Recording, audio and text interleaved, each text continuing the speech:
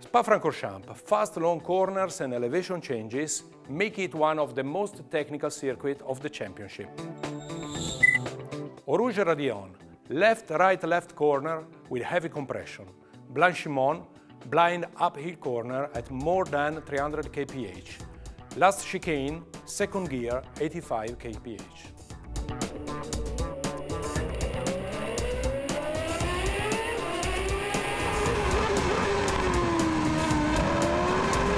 Eau Rouge Raidillon, left, right, left. The cars are subjected to a vertical force of 2.1 g in the compression and more than 3 g of lateral force exiting the corner. This combination puts the equivalent of 1000 kilograms on each of the front tyres, the highest level seen on the whole championship. Blanchimont, a blind uphill corner taken at 300 kph. The structure of the front right tyre is tested heavily for a long period of time. The slip angle reaches 3 degrees and the tyre has to ensure maximum driving precision.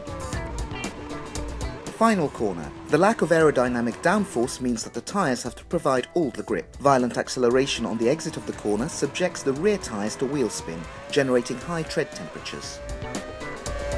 Street circuit with a different temperature in the shadow areas. Hard and medium are the compounds chosen by Pirelli to guarantee grip and performance.